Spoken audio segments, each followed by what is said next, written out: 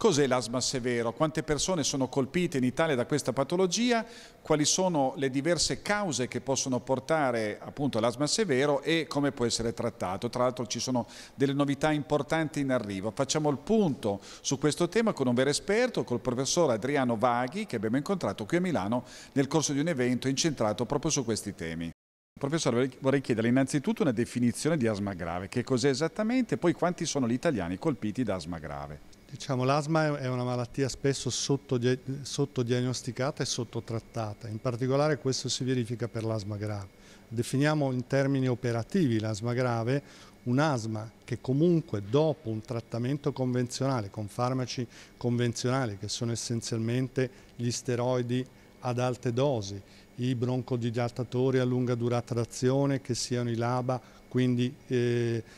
i derivati adrenergici e i derivati anticolinergici, gli antileucotrienici utilizzati in dose massimale e in un paziente che sappiamo che è estremamente compliante alla terapia, malgrado quello va incontro a frequenti reacutizzazioni. Questa è una definizione operativa, però diciamo estremamente utile per il medico di base e anche per lo stesso paziente. Quanti sono gli italiani che si trovano in questa situazione Insomma, non tanto facile?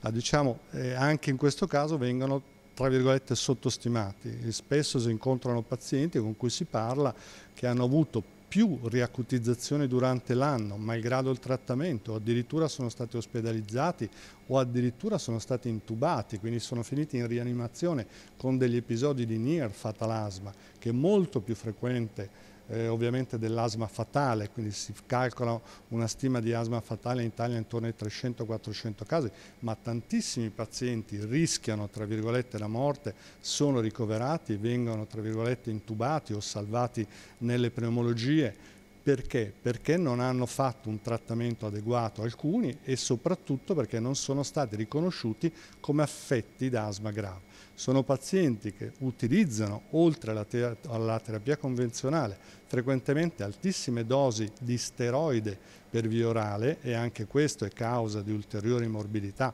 pensiamo all'osteoporosi, pensiamo al diabete, eccetera, eccetera, ma non sono consci di avere una patologia grave, perché l'asma, essendo una malattia nelle sue forme più lievi, estremamente variabile, tutti noi conosciamo pazienti eh, amici allergici che hanno delle asme così intercorrenti, molto lievi, eccetera, la percezione comune dell'asma è che sia una malattia banale o comunque estremamente variabile. In realtà esistono,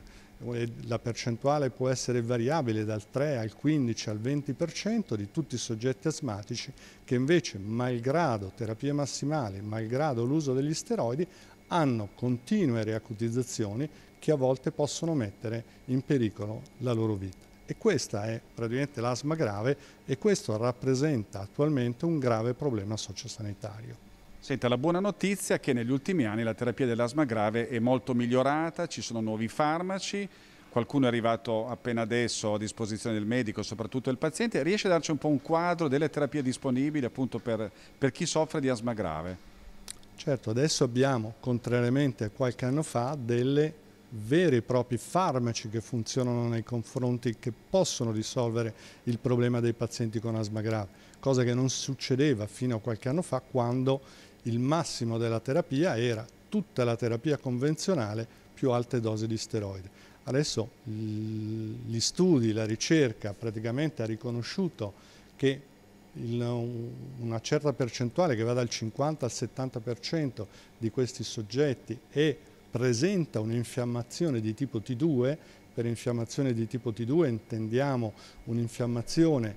che è attivata da particolari cellule del sistema immunitario sia innato che acquisito, con la produzione di particolari citochine che creano uno stato infiammatorio costante nel soggetto. Il soggetto con asma di tipo T2 può avere una storia di allergia, ma sicuramente al riscontro agli esami ematochimici presenta degli eosinofili aumentati e in più altri marcatori che possono essere molto utili come un elevato valore di ossido nitrico espirato. Allora noi in base ai valori degli eosinofili nell'emocromo, in base alla storia clinica di atopia, di allergia o meno, in base a questo marcatore che è l'ossido nitrico espirato possiamo eh, fare una diagnosi di asma di tipo T2 e in questi casi abbiamo dei farmaci veramente validi che sono i farmaci biologici. Farmaci biologici che sono farmaci diretti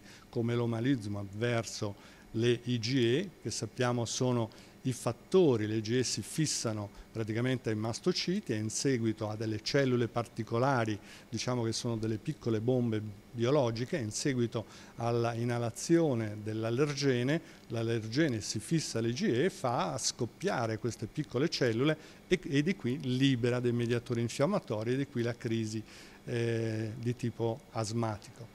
In, in, altri casi invece, ad esempio nelle asme ad insorgenza più tardiva, che spesso si verificano nel sesso femminile, spesso sono associate a poliposi nasale ed altre, ad altre manifestazioni sistemiche,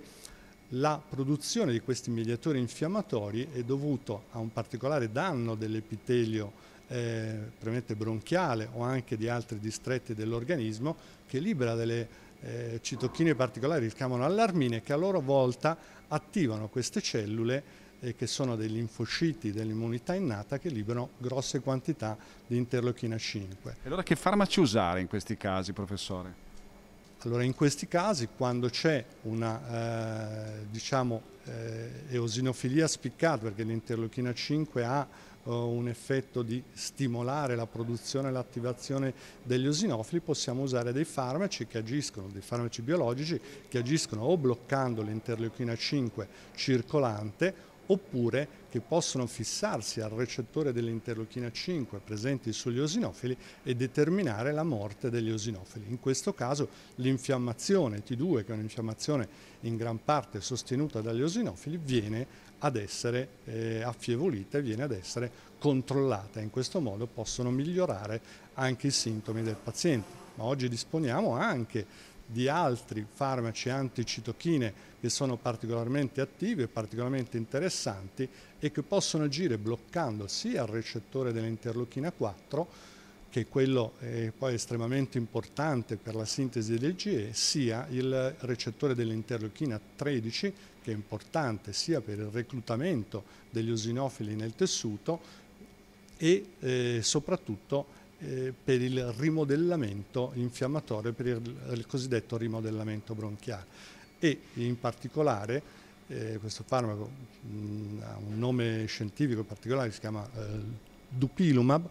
può eh, in questo senso essere indicato sia per i soggetti con ovviamente infiammazione di tipo T2 che presentano elevati livelli di eosinofili, ma anche soggetti con moderati livelli di eosinofili, proprio perché la sua azione è un'azione diciamo più complessa su una cascata infiammatoria eh, governata dall'interleuchina 13 e dall'interleuchina 4. Il farmaco che agisce bloccando le IgE circolanti è l'omalizumab, i farmaci che agiscono bloccando l'interleuchina 5 circolante è il mepolizumab, il farmaco che eh, tra virgolette si fissa all'eosinofilo inducendone la morte praticamente il beralizumab. E quindi questi sono i farmaci del futuro e devo dire che pazienti che fino a qualche anno fa non avevano eh, grosse possibilità terapeutiche se non un iperuso di premente cortisone adesso possono essere trattati riducendo eh, al massimo il cortisone fino addirittura a sospenderlo. Quindi un netto miglioramento della qualità della vita del paziente perché è un paziente che non riacutizza più ed è un paziente che non riacutizza più e riacquisisce una vita normale e una qualità della vita normale senza l'utilizzo di un farmaco utile ma sicuramente eh, non scevro di effetti collaterali come il cortisone e quindi si aprono effettivamente delle nuove prospettive, dei nuovi orizzonti per il trattamento dell'asma.